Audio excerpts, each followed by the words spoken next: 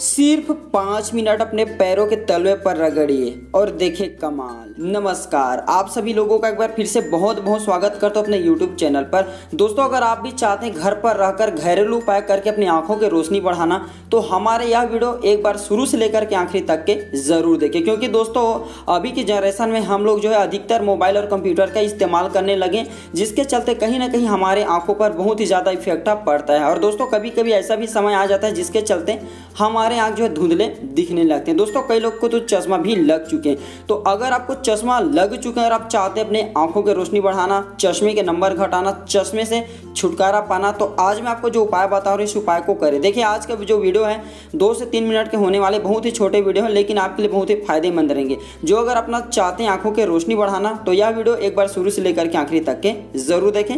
और ये आज आपको मैं जो उपाय बता रहा हूँ, ये आपके अपने घरों पर बहुत ही आसानी से जो ये दवा है, ये मिल जाएँगे। तो दोस्तों, अगर आप चाहते हैं अपनी आँखों की रोशनी बढ़ाना तो आपको इतनी सी मात्रा में लेना है घी। और घी आपको शुद्ध देसी गाय का घी लेना है। मार्केट में अभी बहुत ही, जो है लोकल किस्म के घी मिल जाते हैं, डुप्लीकेट घी मिल जाते हैं तो मार्केट में जो मिलने वाले घी है ना, इसका आपको इस्तेमाल नहीं करना है। आपको अपने घर पे शुद्ध देसी गाय का घी लेना है अगर आपके आसपास में देसी गाय का घी मिल जाते हैं तो वहाँ पर भी आप संपर्क करके ले आइए। और इसका प्रयोग आपको किस तरह से करना है मैं आपको बताता हूँ। रात में आपको सोने से पहले इतनी सी मात्रा में आप घी रख लीजिएगा, और रात में सोने से पहले बस इतना से आपको रखना है घी और आपको अपने पैरों के तलवे पर अच्छी तरह से, इस तरह से रगड़ना है। और लगभग दोस्तों आपको 15 मिनट तक रगड़ना है। 15 मिनट तक रगड़ने के बाद आपको छोड़ देना कम से कम यह उपाय आप जो है सात दिनों तक ज़रूर करें।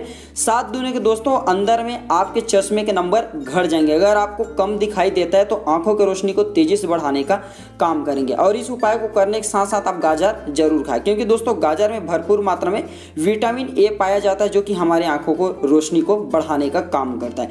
तो अगर आप भी घर पर रह के घरेलू उपाय करके अपनी आँखों की रोशनी बढ़ाना चाहते हैं तो इस उपाय को कर सकते हैं। दोस्तों तो मैं कहता हूँ, कम से कम इस उपाय को एक महीने तक करके ज़रूर देखें, क्योंकि दोस्तों, एक महीने के भीतर में अगर आपके चश्मे का नंबर बढ़ चुका है ना तो चश्मे का नंबर घट जाएँगे और घर पर ही रह करके घरेलू उपाय कर सकते हैं। देखिए, ये दवा बहुत ही सस्ते हैं, मुश्किल से आपको पचास रुपए लगेंगे घी। लेकिन दोस्तों, ये आपको इतना फ़ायदा देंगे जितना कि हज़ारों रुपए के मेडिसिन नहीं दे पाते। तो दोस्तों, अगर आप चाहते हैं अपने घर पर रह करके आँखों की रोशनी बढ़ाना, चश्मे के नंबर घटाना तो इस उपाय को कर सकते हैं। अगर आपकी मर्ज़ी तो आप इस उपाय को दो से तीन महीने तक भी कर सकते हैं। आपके ऊपर निर्भर करता है कितने दिनों तक करना चाहते हैं। अगर आपको पूर्ण लाभ मिल जाता है तो सात दिनों में बंद कर दीजिए। पूर्ण लाभ नहीं मिलता तो कम से कम इस उपाय को दो से तीन महीने भी करके देखिए। तो दोस्तों, ये थे आज के हमारे छोटे से जानकारी, जो कि आँखों को लेकर के थे। अगर हमारे वीडियो पसंद आए तो आप हमारे इस वीडियो को लाइक कीजिए, अपने दोस्तों और में शेयर कीजिए। साथ ही अभी तक आप हमारे चैनल को सब्सक्राइब नहीं किए तो चैनल को सब्सक्राइब कर ले, ताकि आपको हमारे आने वाले इसी तरह के महत्वपूर्ण वीडियो को जानकारी सबसे पहले मिल सके। धन्यवाद।